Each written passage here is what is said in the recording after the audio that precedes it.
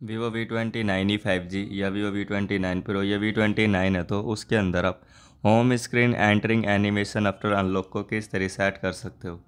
यानी कि आप अपनी स्क्रीन को जब भी अनलॉक करते हो ओके और यहाँ पर आपकी नॉर्मली से अनलॉक हो रही है, आप यहाँ पर देख सकते हो। तो आप सोचते हो यहाँ पर मैं कोई एनिमेशन ले लूँ, जैसे कि मेरे आइकन ऊपर से नीचे आए या नीचे से ऊपर जाएँ तो किस किस तरीके के आपको एनिमेशन मिलेंगे, ये मैं आपको बता देता हूँ, और आपको उनसे जोन से अच्छा लगेगा, वो उनसे सेट कर सकते हो।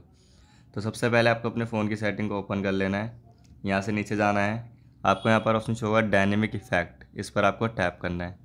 ऑप्शन शो होगा home screen entering animation after unlock इस पर आपको टैप करना है। तो यहाँ पर आपको अलग अलग तरीके के एनिमेशन मिल जाएँगे। जैसे कि ये वाला है अप्लाई करेंगे। ओके यहाँ पर गए। स्क्रीन को अनलॉक करा। कुछ इस तरीके आपके आइकन है, वो एनिमेशन कर रहे हैं। तो यहाँ पर आपको और मिल जाता है साइड में। तो मेरे को ये वाला काफ़ी अच्छा लगता है। तो मैं यहाँ पर इस वाले को सेट कर लूँगा अप्लाई पे।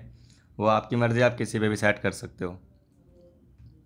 आप देख सकते हो यहाँ पर किस तरीके से हमारे आइकन एनिमेशन कर रहे हैं। तो वीडियो चले तो वीडियो को लाइक शेयर सब्सक्राइब करें। मिलते हैं नेक्स्ट वीडियो में, जब तक के लिए बाय